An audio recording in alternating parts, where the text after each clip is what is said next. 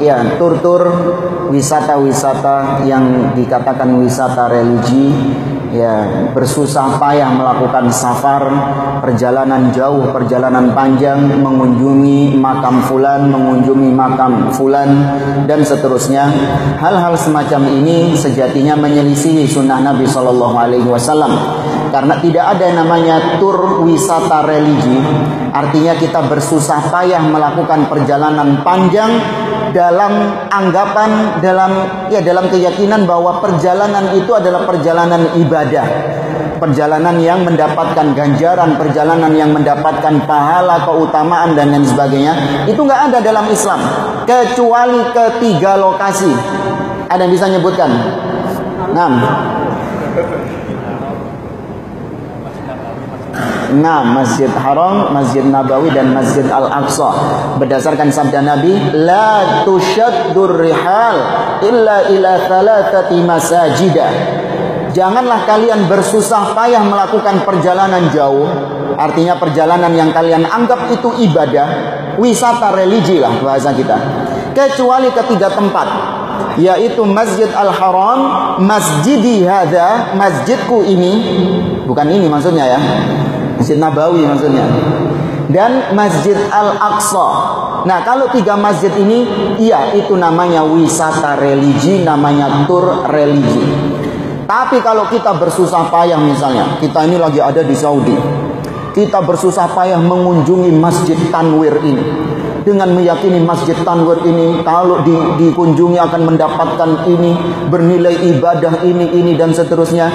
Padahal yang dikunjungi masjid juga, tapi itu tetap menyelisih sunnah Nabi Shallallahu Alaihi Wasallam. Gak boleh kita bersusah payah untuk mengunjungi sesuatu yang Nabi Shallallahu Alaihi Wasallam tidak menganjurkan hal tersebut.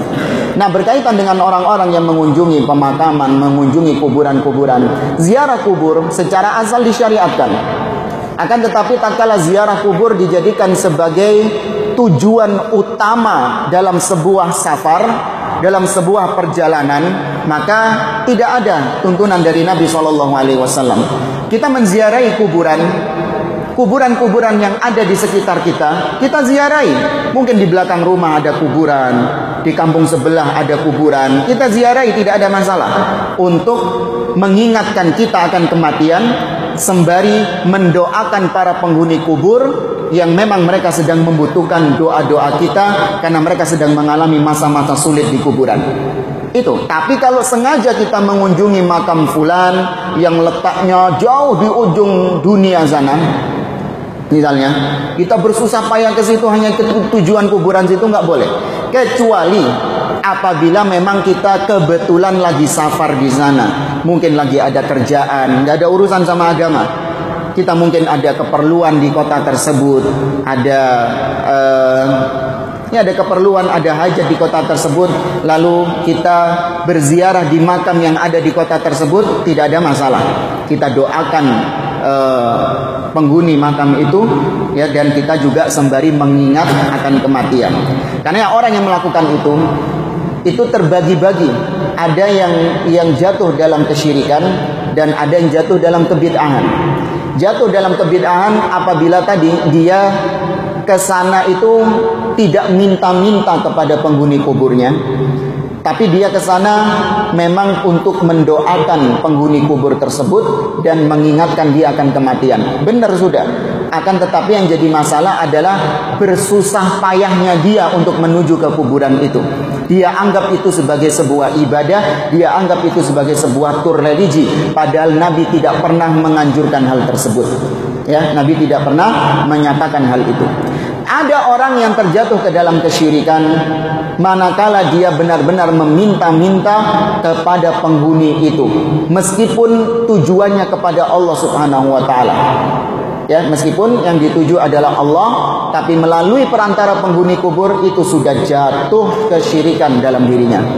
Dan orang-orang yang ikut andil partisipasi dalam hal ini entah dia sebagai tour leadernya atau mungkin dia sebagai penyelenggaranya atau apa pun itu maka dia jatuh ke dalam firman Allah Subhanahu wa taala wala ta'awanu 'alal itsmi wal 'udwan. Janganlah kalian saling tolong menolong dalam berbuat dosa dan berbuat kesalahan. Ya adapun tadi pertanyaan kedua apa Pak?